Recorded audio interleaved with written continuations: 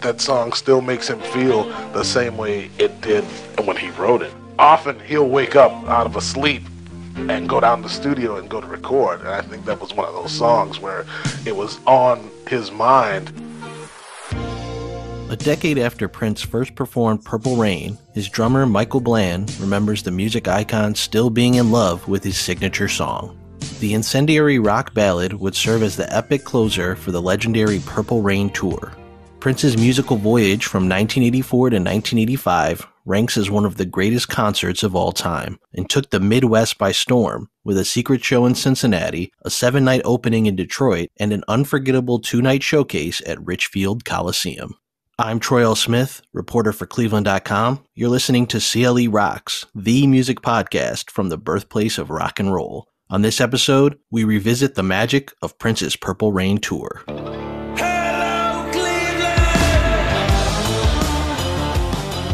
Prince Rogers Nelson earned his commercial breakthrough with 1982's 1999, an album that reached the top 10 on the charts and spawned three hit singles, including Little Red Corvette, Delirious, and the celebratory title track that has since become one of Prince's most recognizable songs.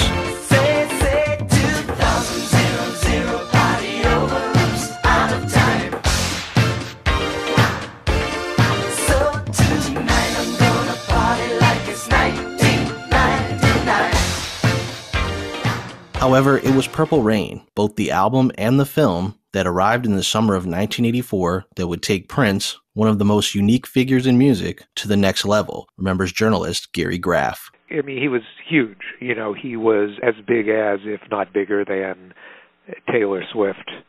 You know, could be could be seen now for for so many uh, sociological reasons, just about how mu- how music was consumed you know at at that time it was a it was easier for back then for an artist to have a monolithic presence you know whether it was Michael Jackson, Springsteen, uh Prince at the time than it is now just across the board. You know even if it wasn't your kind of music you knew this was a big freaking star. And so Prince was at the very top of that game and you know he really was part of a a big 3 um in 1984 it was it was Michael Bruce and then Prince. And in a lot of ways, Prince, you know, Prince was maybe the most credible. Prince had mystery on his side.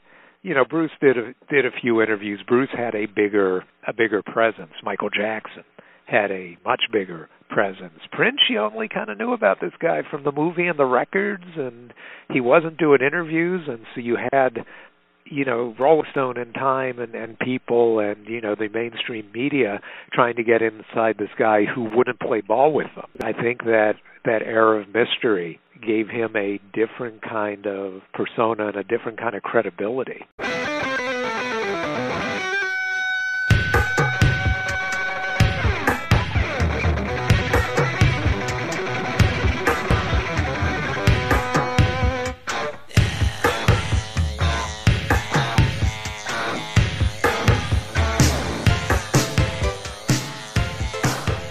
Prince would release When Doves Cry, the lead single from Purple Rain, on May 16, 1984. Within two months, the song would work its way to number one on the Billboard Hot 100, remaining there for five weeks, during which time Prince's musical odyssey Purple Rain would hit theaters. Will you help me? Nope. Pardon me? Nope. Want to know why? Nope. Because you wouldn't pass the initiation. What initiation? Well, for starters, you have to purify yourself in the waters of Lake Minnetonka. Thanks to Prince's rising star power, Purple Rain would go on to earn $70 million at the box office, blowing away the movie's modest expectations. Two more massive singles from Purple Rain, including Let's Go Crazy and the unforgettable title track, would set the stage for the Purple Rain Tour, the tour would sell a whopping 1.7 million tickets, selling out the overwhelming majority of venues well ahead of time. However, Prince's busy schedule allowed for just a few weeks of rehearsals for himself, his band The Revolution, and openers Apollonia 6 and Sheila E. Elaborate choreography and custom made outfits would lead to marathon practice sessions. With the tour just six weeks out, Prince looked for a venue to hold a dress rehearsal. He would wind up choosing storied concert venue Bogarts, located in the Coryville neighborhood of Cincinnati, Ohio. Prince was no stranger to the club, having performed there in 1980 and visited in 1982 for a show featuring his hero, James Brown, and Wilson Pickett recalls Bogart's owner, Al Porkolab. He came in really low key. I actually didn't know until my production manager said, You know, Prince is in the house? Come on. They said, No, he's here.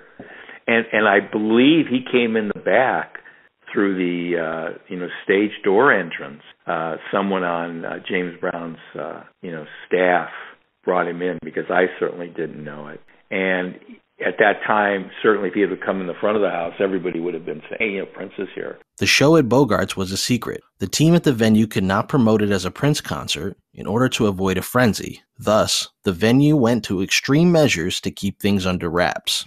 We were told, you know, certainly not to tell anybody, not to really tell other than management. I don't think the staff knew. There were, we, I think we dis- disabled you know the payphone at that time we had a payphone none of the none of the phones in, that management had were to be used.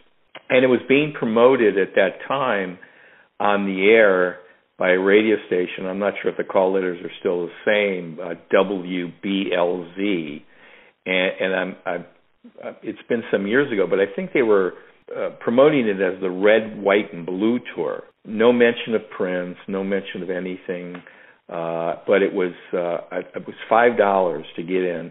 Somehow the word got out. My understanding, the word got out uh, that it was you know Prince, and of course you know was was sold out in a heartbeat.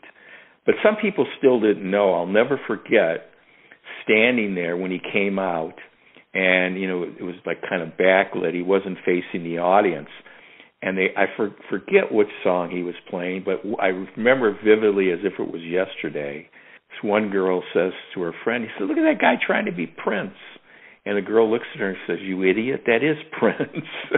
The concert was a full on dress rehearsal, with Prince and the Revolution in full attire, performing the majority of the set that would make up the Purple Rain tour. The concert, held in front of 1,500 people, remains one of the most surreal moments in music history. You know, it was one of the great all time shows at the club. Uh, I mean, everybody was there.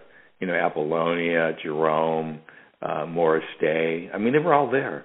I mean, and to see them in in, in really uh, a small setting was was very unique at the time because he was he was a superstar. He was a megastar, and you know, very very nice, very quiet.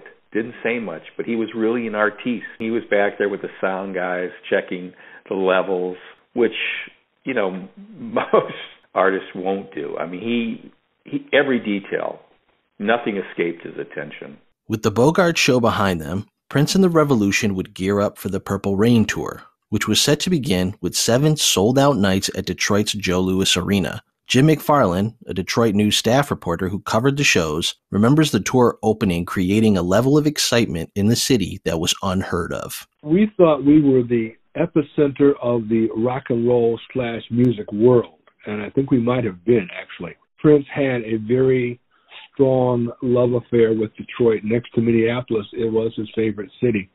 I think there are a couple of reasons for that. One was a late night disc jockey, uh, Charles Johnson, also known as the Electrifying Mojo, who uh, had a very popular, although almost invisible show on a very low power R&B station on the main street in Detroit. And he turned Detroit on to Prince I think, before anybody else. And Prince became aware of that. Uh, the other reason is that there was a guy named Billy Sparks who was um, a black promoter in Detroit. He uh, promoted Prince's early shows. I think there are at least two of those reasons, reasons why Prince really loved Detroit.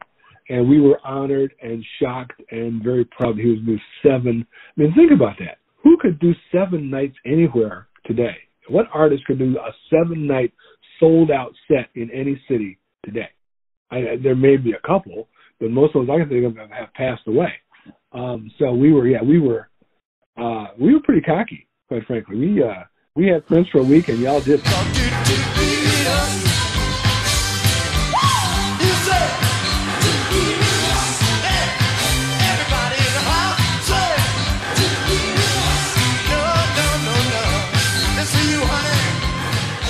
Prince's storied relationship with Detroit, a utopia of black music history, was on full display during the opening night, as Prince took time out from his father's song piano interlude to thank the crowd for its attendance. Such an interaction was unheard of for the enigmatic performer. I was shocked because he, I mean, he was a showman of the first degree. He did his show. He didn't necessarily communicate with the crowd in terms of physical contact. I mean, he communicated through his music and through his dance moves, and through his persona. But he didn't, you know, take that time like a lot of performers do to sit and go, well, people, I'm so glad you're here and thanks for coming. He did that on the first night, and I just almost fell off the chair because that was so out of character for him. I, but I think it it indicates the kind of feeling he had for Detroit and Detroit fans. I think he, in many ways, he felt that Detroit and his hometown were the place that catapulted him to the success he had. And just coming off the movie, coming off Purple Rain, he could do no wrong.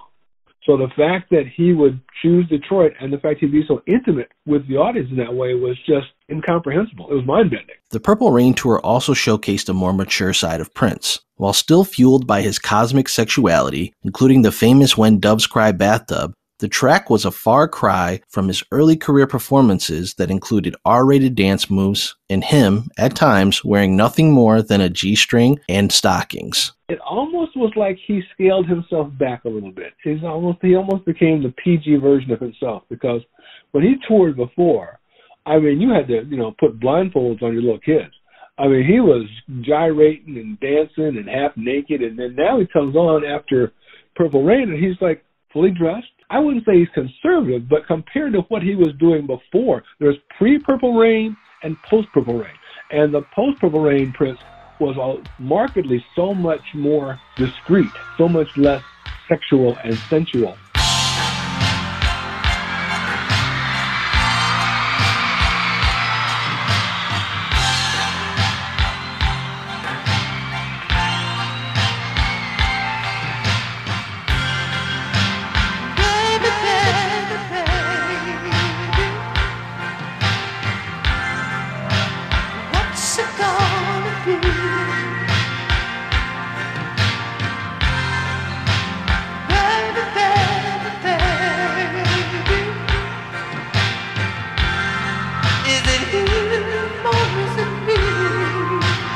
While the shows in Detroit would prove monumental, they were the start of a new concert setup for Prince. Gary Graff, who also covered both the first and final concerts in Detroit, remembers those shows having their hiccups. I really felt like the two shows I saw that first week of the tour, it was almost like they were recreating the video Prince on stage and not letting that, you know, ferocious kinetic performer loose you know, it just felt it just felt like you know they, these were video vignettes being recreated on a stage rather than a concert. It wasn't all that it would become, and it certainly it certainly missed the kind of looseness and I guess what we call the daring do that we'd seen him do before on the 1999 tour, the Controversy tour. By the time Prince made his way to Richfield Coliseum for a two night stand on December 5th and 6th, all the kinks had been worked out. Richfield hosted everyone from Billy Joel and Kiss to Van Halen and Rush, but nothing was bigger than Prince's Purple Rain tour, which attendee Heidi Dolan says rivaled even that of Bruce Springsteen's 1984 Born in the USA run. Oh my God.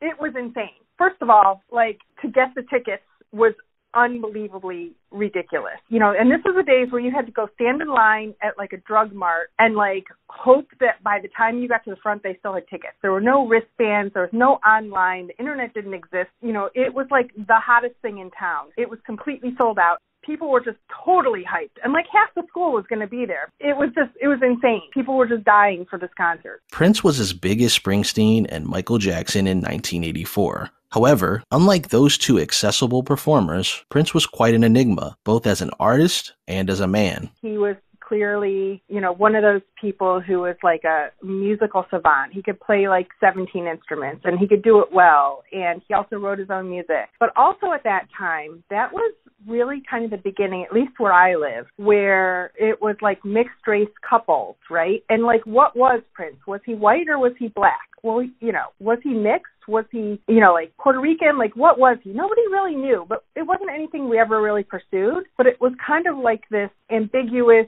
race. So like the white kids liked him, the black kids liked him, everybody kind of liked him. Then, of course, he had very provocative lyrics. And when you're 16 years old, you listen to music that talks about sex. Wow, that's like, you know, you just think you're the hottest thing ever. You know, and then he was like kind of mysterious. Like he didn't want to give interviews and he always had that coy little smile on his face. And like, what was he thinking? And, you know, he created his own like it was like a, a, whole fantasy world that he lived in and everybody kind of wanted a piece of it. With Prince's popularity at an all-time high, the first sold out night at Richfield would prove a flawless showcase. The arena was dark, and they went on stage without lighting anything, and then it starts with the. we are gathered here today to see this thing called life Everyone went absolutely nuts, just screaming and yelling and clapping and just losing their minds in general. It just kind of went up from there, you know, like it was so remarkable. You know, you've got like this big star coming to like the middle of this country concrete palace doing the doing his thing and it was super cool.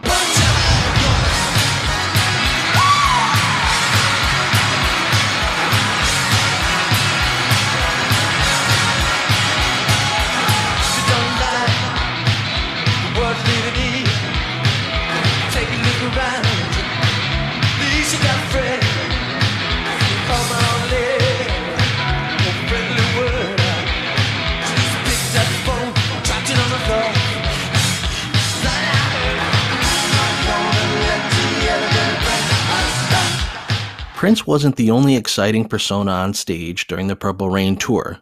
His band was decked out in the colorful outfits people had seen in the film and could recognize. Sheila E. was also a highlight, both during her own set with her band and while jamming on stage with Prince. But as Graff points out, Prince was always the centerpiece. He was just dynamic. You know, you're you know, even though he had a big band and a big stage show, you didn't look at anything else but Prince the entire time he was on stage you know there was there was no question. I mean he could dance like you say you know certainly came from the james brown school of hyperkinetics uh you know and and you know great singer great guitar player. Uh he he knew he also knew how to perform you know regardless of the size of the room. He knew he knew what to do. He he he understood and worked with the best lighting people so his his vision his presence filled a big arena but interestingly, the presence was Prince. It was the backlit spotlights that silhouetted him against the arena wall or or against the back. Everything was done to focus to focus on Prince, and that that was a you know a very important part of the show. You know, you might look at Lisa or Wendy or Dr. Fink for a second, but you never ever took your eyes off Prince. The Purple Rain tour would run for 98 shows. Madonna and Bruce Springsteen would famously join Prince on stage during a February 23, 1985 concert. The March 30th show in Syracuse, New York would be recorded and released on VHS later that year. Fittingly, the Purple Rain tour would conclude with a 20 minute version of Prince's legendary title track.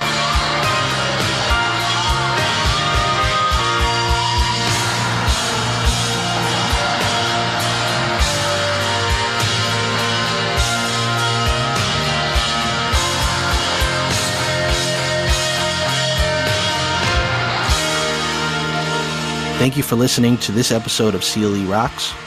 For more, visit our page on ACAST, Apple, Spotify, or your favorite podcast platform. I'm Troy L. Smith. Until next time.